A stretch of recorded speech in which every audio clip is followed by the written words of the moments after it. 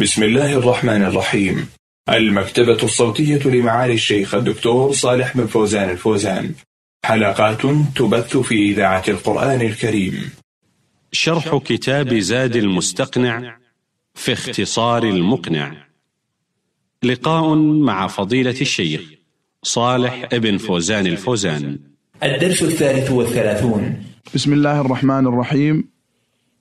الحمد لله رب العالمين وصلى الله وسلم على نبينا محمد وعلى آله وصحبه أجمعين. إخوتنا المستمعين الكرام السلام عليكم ورحمة الله وبركاته.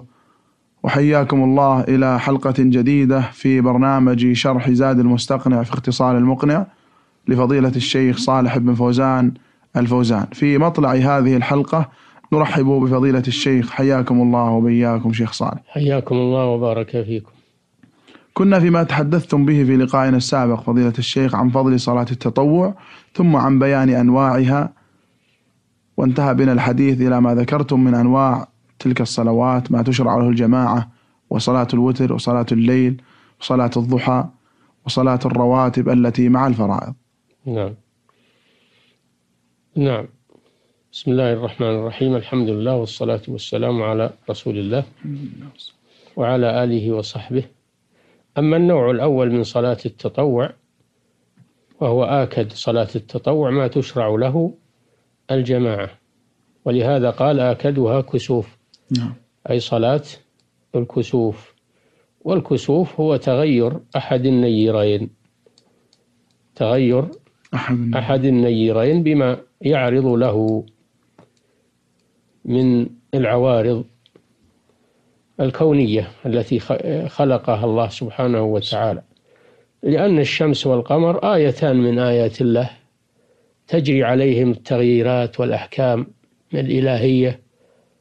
وفي هذا رد على الذين يعبدون الشمس الله ويعبدون القمر ويعبدون الكواكب في أنها مخلوقات يجري عليها التغير فإذا كسف أحد النيرين شرعت صلاة الاستسقاء على الصفة التي وردت عن النبي صلى الله عليه وسلم وسيأتي لذلك باب خاص هو باب صلاة الكسوف. الكسوف نعم. نعم. وإنما ذكرها هنا لبيان أنها آكد أنواع التطوع. لماذا؟ لأنها تشرع لها الجماعة. الجماعة ويجهر فيها بالقراءة. ثم استسقاء. والاستسقاء طلب السقيا. نعم. طلب السقيا من الله سبحانه وتعالى. وذلك يكون تارة بالدعاء وحده وتارة يكون بالصلاة مع الدعاء وهو ما تسمى صلاة. صلاة الاستسقاء. وتارة تكون في خطبة الجمعة. فالاستسقاء على ثلاثة أنواع.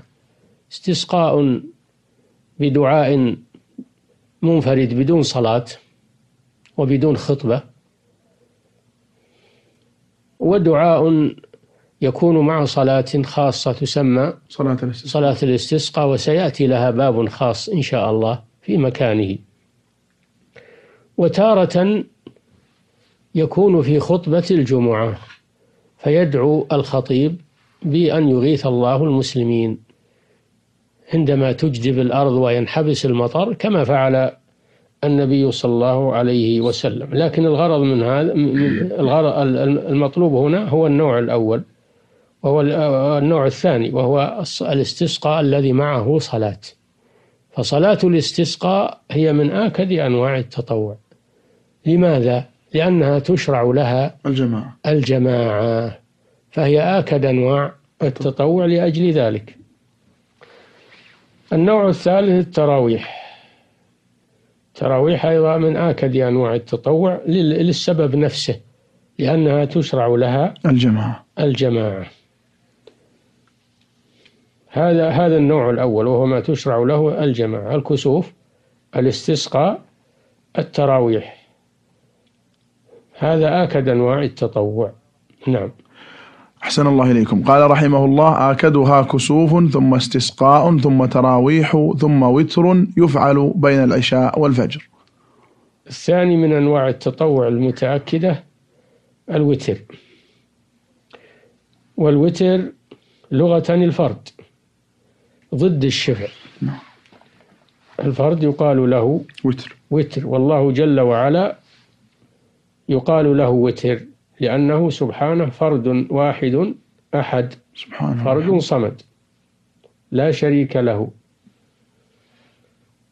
وفي الحديث إن الله وتر يحب الوتر. يحب الوتر. نعم. يفعل بين ال... تفضل. والوتر هو الصلاة على الصفة التي يأتي ذكرها إن شاء الله تعالى.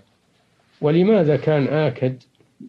أنواع التطوع بعد ما تسن له الجماعة لأن النبي صلى الله عليه وسلم كان يأمر به ويحث عليه وكان صلى الله عليه وسلم لا يتركه حضرا ولا سفر. ولا سفرا فلهذا تأكد الوتر على المسلم فهو سنة مؤكد. مؤكدة بل إن بعض العلماء يرى وجوبه ولكن الذي عليه الجمهور أنه سنة مؤكدة. نعم. قال رحمه الله يفعل بين العشاء والفجر وأقله ركعة وأكثره إحدى عشرة ركعة مثنى مثنى ويوتر بواحدة. هذا تفصيل لكيفية الوتر من حيث بيان الوقت وبيان عدد الو- ركعات الوتر. أما الوقت فإنه ما بين العشاء يعني ما بين صلاة العشاء إلى صلاة الفجر إلى طلوع الفجر. ما بين صلاة العشاء إلى طلوع الفجر. هذا وقت الوتر. ففي أي وقت أوتر من أول الليل أو من وسطه أو من آخره فإنه يكون قد أتى بالوتر في وقته. يكون أتى بالوتر في وقته الشرعي. وصلاة العشاء هي البداية. إذا صلى العشاء جاز له أن يوتر. ولو كانت العشاء مجموعة مع المغرب جمع تقديم. الحمد لله. فله أن يوتر بعده بعدها إلى أن يطلع الفجر. أما إذا طلع الفجر فإنه ينتهي وقت الوتر. لأن النبي صلى الله عليه وسلم انتهى وتره إلى السحر. نعم. وأقله الآن البيان هذا بيان لعدد ركعات الوتر. الوتر لغة كما سبق هو الشيء الفرد ضد الزوج وضد ال- الشفع. الشفع. فأقل الوتر ركعة واحدة ولا يكره الإيتار بها لأن هذا ثبت عن السلف. لأن هذا ثبت عن السلف. فلو صلى ركعة واحدة ناويا أنها الوتر أجزأت. لا قبلها ولا بعدها. لا قبلها ولا بعدها ما يصلح. وتر الوتر ما يصلى بعده يعني بعد ما فرغ من فريضة العشاء صلى واحدة. أي نعم. أقل الوتر ركعة واحدة. ويكون قد أدى السنة بذلك. هذا أقله وأكثره إحدى عشرة ركعة. إحدى عشرة ركعة. يصليها مثنى مثنى يعني يسلم من كل ركعتين ويوتر بواحدة هذه إحدى عشرة. عشرة. لقوله صلى الله عليه وسلم صلاة الليل مثنى. مثنى فإذا خشي أحدكم طلوع الفجر صلى واحدة توتر له ما صلى. هذا أقله وهذا أكثره. وإن قال وإن أوتر نعم.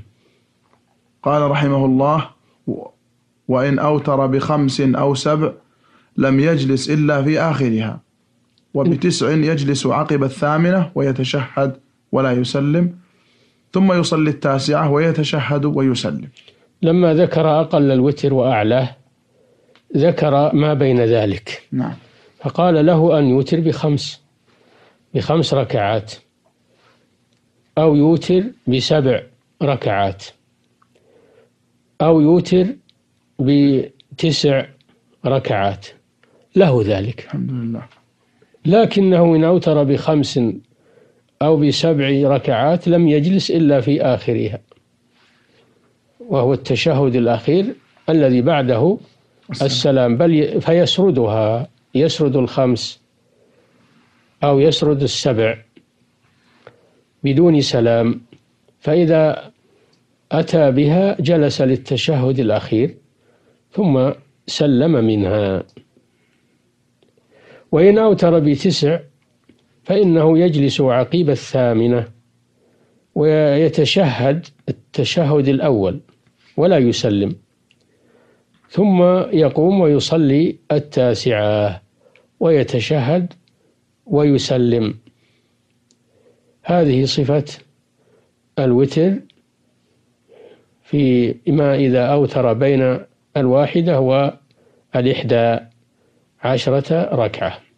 يعني إن ترك فعله مثنى مثنى. الطريقة الأولى أن يصلي مثنى مثنى. هذا بالإحدى عشر يصلي مثنى مثنى. أما بالخمس والسبع والتسع فإنه يسرد. أي نعم. إلا في التسع فإنه يجلس بعد الثامنة ويتشهد تشهدا أول ثم يقوم ويأتي بالركعة التاسعة ثم يجلس ويتشهد التشهد الأخير ويسلم منها. نعم. أحسن الله إليكم. وأدنى الكمال ثلاث ركعات بسلامين. أدنى الكمال في الوتر ثلاث ركعات وهو ما يسمى بالشفع والوتر. بسلامين يصلي ركعتين تسميان بالشفع. ثم يجلس ويتشهد ويسلم. ثم يقوم ويصلي آه، الوتر ركعة واحدة. ويتشهد بعدها يجلس للتشهد ويتشهد ويسلم. هذا هو الأفضل. وإن سرد الثلاث بسلام واحد جاز ذلك. نعم. يعني الثلاث له أن يجعلها بسلامين أو بسلام واحد. أو بسلام واحد لكن السلامين أفضل. فإن سلم سلاما واحدا يجعل بعد الثانية تشهدا أول؟ لا. لا يجلس إلا في الأخيرة. نعم يسردها يسردها ويجلس في الأخيرة لأنه نهي عن تشبيهها بصلاة المغرب. المغرب. نعم. أحسن الله إليكم. شيخ قبل أن نبرح هذا قولكم سنة مؤكدة. الفرق بين السنة والسنة المؤكدة. هل من إشارة لطيفة؟ السنة المؤكدة التي يتأكد فعلها. يتأكد فعلها. يعني فوق السنة العادية ودون الواجب. إي نعم. تقرب من الواجب. نعم. قولكم يصلي برعي واحدة. لو أن أحدا أتى إلى مضجعه منتصف الليل مثلا فتوضأ وصلى ركعة واحدة عد وترا له تلك الليلة؟ إي نعم. لكنه أقل. أقل الوتر. أقل الوتر نعم. نعم. أحسن الله إليكم. لو أن الموتر جعل من الخمس التي يسلم في آخرها ركعتي راتبة العشاء. نوى بالركعتين الأولين في الخمس راتبتي العشاء. ما يصلح. ما يصلح. أثابكم الله.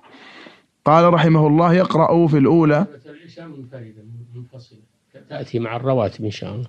أحسن لا الله. يدخلها مع الوتر. نعم. أحسن الله إليكم. قال رحمه الله وأدنى الكمال ثلاث ركعات بسلامين. يقرأ في الأولى سبح وفي الثانية بالكافرون وفي الثالثة بالإخلاص. إذا أوتر بثلاث التي هي أدنى الكمال, الكمال فإنه يستحب له أن يقرأ في الأولى بعد الفاتحة بسبح اسم ربك الأعلى. وفي الركعة الثانية بقل يا أيها الكافرون. وفي الركعة الثالثة بسورة الإخلاص قل هو الله أحد. فقراءة هذه السور في الشفع والوتر إذا أوتر بثلاث مستحب. ولو قرأ بغيرها. أجزأ ذلك. نعم.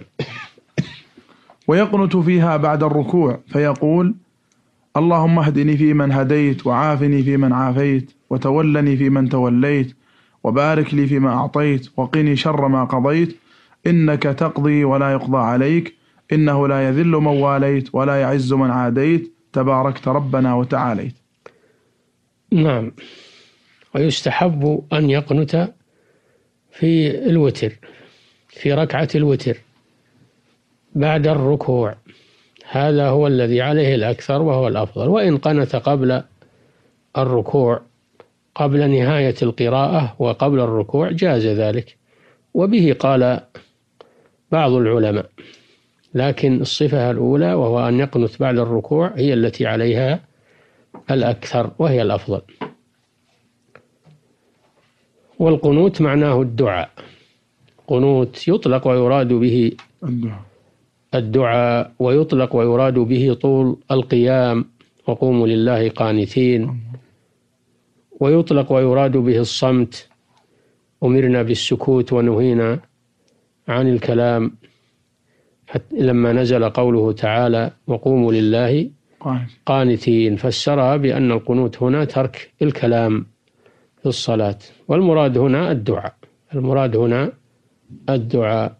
فيستحب أن يقنت في الوتر.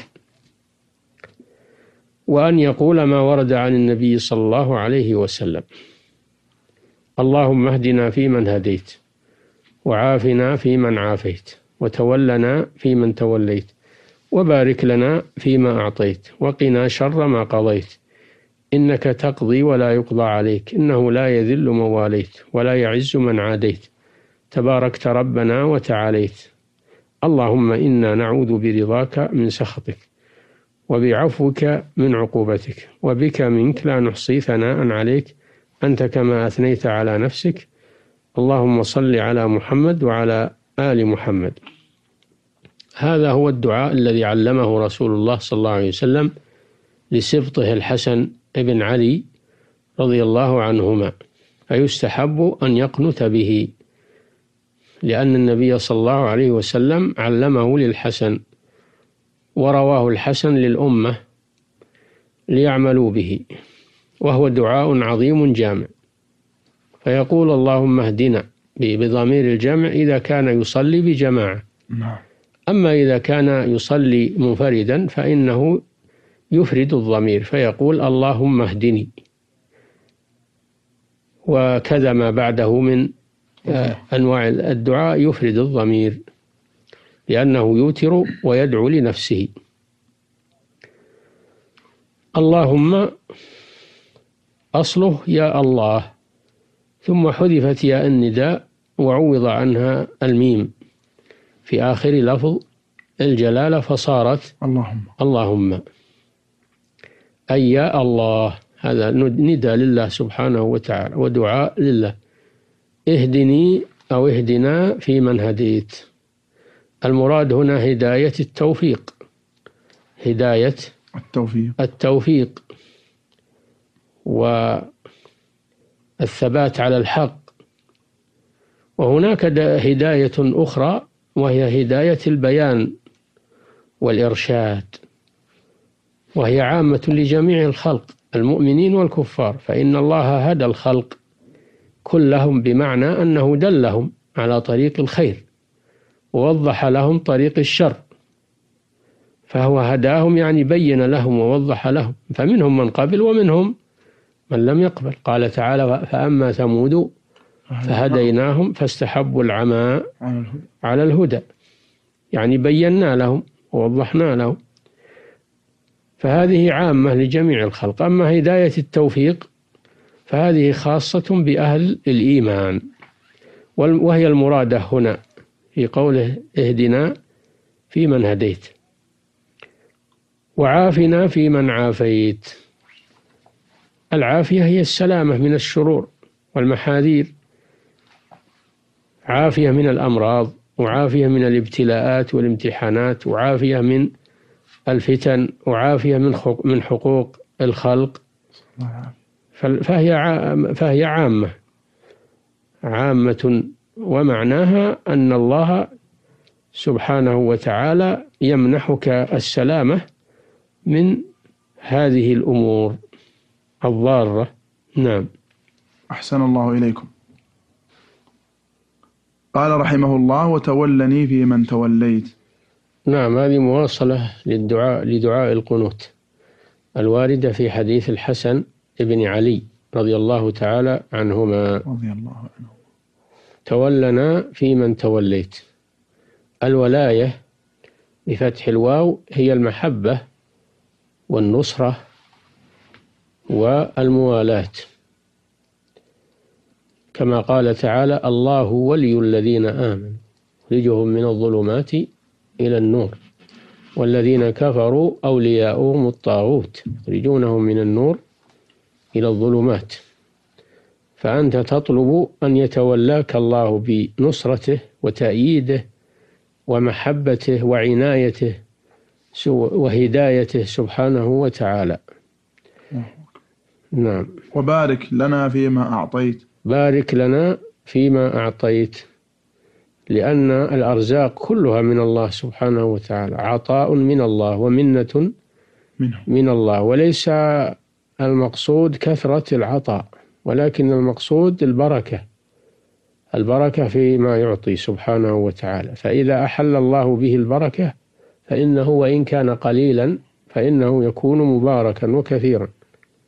أما إذا لم يكن فيه بركة فإن العطاء وإن كان كثيرا فإنه لا يفيد صاحبه. فلذلك لم يقل أعطنا في من أعطيت الله بل قال بارك لنا بارك لنا فيما أعطيت. هذا هو المقصود. نعم. بالمناسبة يا شيخ طبعا البركة نعرف أنها لا ينزلها في الشيء إلا الله وحده جل وعلا كما تفضلتم. ونسمع كثيرا الآن في في عبارات الصحف ووسائل الإعلام أن نبارك هذا الموضوع والمسؤول يبارك الحفل وال مبارك يعني يبارك يدعو, حفل المدرسة. يدعو له بالبركة ما يخالف. يصح على هذا الاعتبار. نعم كان النبي صلى الله عليه وسلم يؤتى بالصبيان يحنكهم ويبرك عليهم يعني يدعو لهم بالبركة. لكن في في السياق المستعمل أنه بارك الحفل أو بارك كذا يعني أي يعني دعا له بالبركة. لا بأس. ما نقول أن هذا فعل خاص بالله جل وعلا هو ألو... هو الذي يبارك. الخاص بالله تبارك لفظ تبارك. هذا لا يطلق إلا على الله. ما تقول تبارك علينا ها؟ طيب.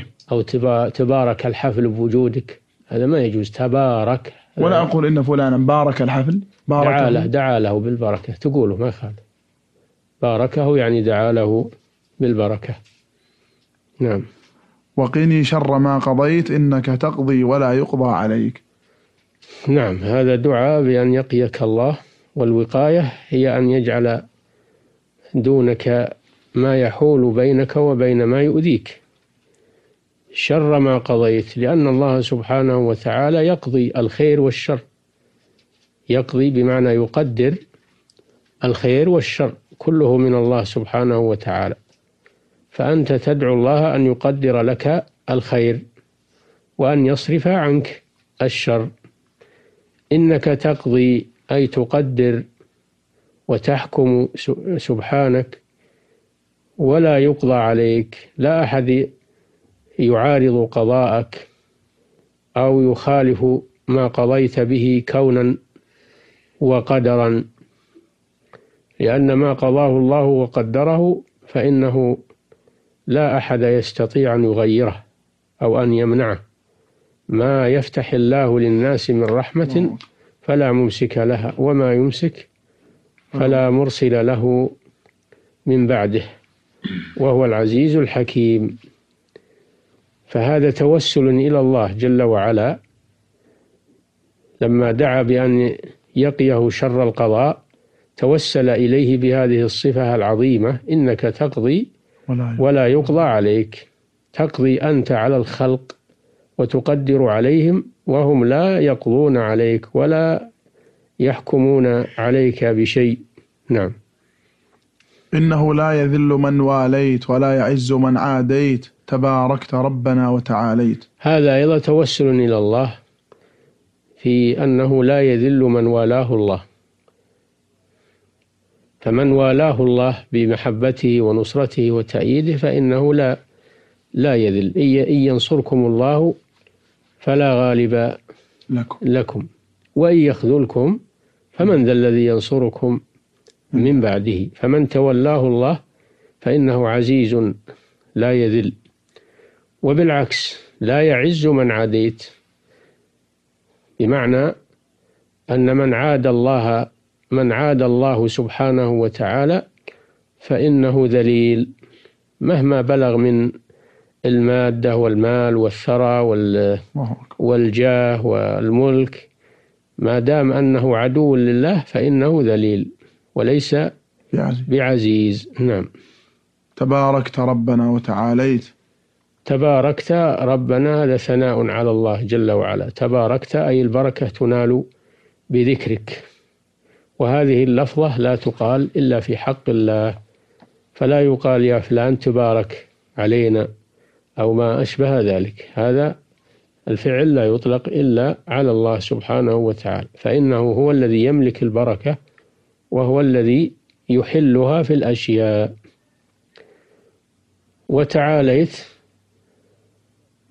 هذا فيه إثبات العلو لله سبحانه وتعالى بجميع أنواعه علو الذات وعلو القدر. وعلو القهر كله ثابت لله سبحانه وتعالى. نعم. اللهم إني أعوذ برضاك من سخطك وبعفوك من عقوبتك وبك منك. لا نحصي ثناء عليك. أنت كما أثنيت على نفسك. اللهم صل على محمد وعلى آل محمد. نعم. العوذ هو اللجوء والاحتماء بالله سبحانه وتعالى. فهو اللجوء إلى الله والاحتماء بحماه سبحانه وتعالى مما يكره الإنسان فإن الله جل وعلا يجير ولا يجار عليه فتعوذ به من شر العدو ومن شر الآفات ومن شر الحاسد ومن ومن أعاذه الله فإنه لا خوف عليه. فالله جل وعلا له صفتان صفة الرضا وصفة السخط وهو الغضب. فهو يعوذ بصفة الرضا يعني يلجأ إلى صفة رضا الله من سخطه سبحانه وتعالى. وبعفوك العفو هو ترك المؤاخذة على الذنب. ترك المؤاخذة على الذنب ومغفرته. فإن الله قادر على أن يعفو على الذنوب وقادر على أن يعاقب بها. عليها. فالعبد يلجأ بصفة العفو من صفة العقوبة, العقوبة. فإنه لا ملجأ من الله إلا إليه. إلا إليه سبحانه لا ينقذ من عقوبته إلا هو سبحانه إلا بعفوه سبحانه وتعالى. ولا مفر من غضبه إلا برضاه سبحانه وتعالى. وبك منك أي نعوذ بك يا الله منك. فلا يعاذ بالله لا يعاذ من الله إلا بالله سبحانه وتعالى. لا يعاذ من الله إلا به. فلا تعوذ بمخلوق على أن يعيذك من الله جل وعلا. بل العكس أنت تعوذ بالخالق من شر المخلوق. ولا تعوذ بالمخلوق ليقيك من غضب الخالق سبحانه وتعالى.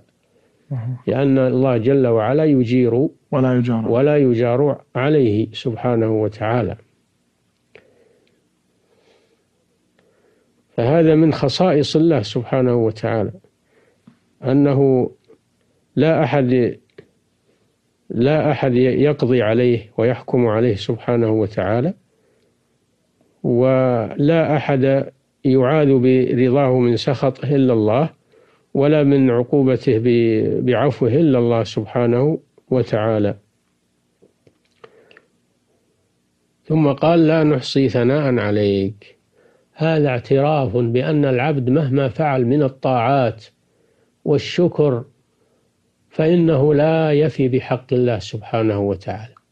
فلذلك اعتذر الرسول صلى الله عليه وسلم إلى ربه. فقال لا نحصي ثناء عليك. وهذا كقوله تعالى وإن تعدوا نعمة الله لا تحصوها. إن الله لغفور رحيم. فهو اعتراف بالعجز. مع ما كان عليه صلى الله عليه وسلم من مقام العبودية التي لم يصل إليها مخلوق. ومع هذا يعترف بتقصيره في حق الله. فيقول لا أحصي ثناء عليك. نعم. أنت كما أثنيت على نفسك. أي لا أحد يستطيع أن يبلغ ثناءك إلا أنت إلا أنت بما أثنيت به على نفسك من صفات الكمال ونعوت الجلال و فهو الذي فهو الذي آه، يفي سبحانه وتعالى بما بما يجب له من الثناء. نعم. اللهم صل على محمد وعلى آل محمد. هذا الختام. يختم دعاء القنوت بالصلاة على النبي صلى الله عليه وسلم. صل على محمد وعلى آل محمد. ويشمل الآل يشمل قرابة الرسول صلى الله عليه وسلم ويشمل أتباعه من أمته. كلهم يدخلون في لفظ الآل وتشملهم الصلاة. نعم. أحسن الله إليكم ونفع بعلمكم. إخوتنا المستمعين الكرام كان هذا آخر ما سمح به اللقاء في برنامج شرح زاد المستقنع في اختصار المقنع لفضيلة الشيخ صالح بن فوزان الفوزان. شكر الله لشيخنا ما تكرم به من جواب وبيان وشكر لكم حسن استماعكم وهذه تحية من زميلنا في هندسة الصوت فهد بن محمد العثمان. والسلام عليكم ورحمة الله وبركاته.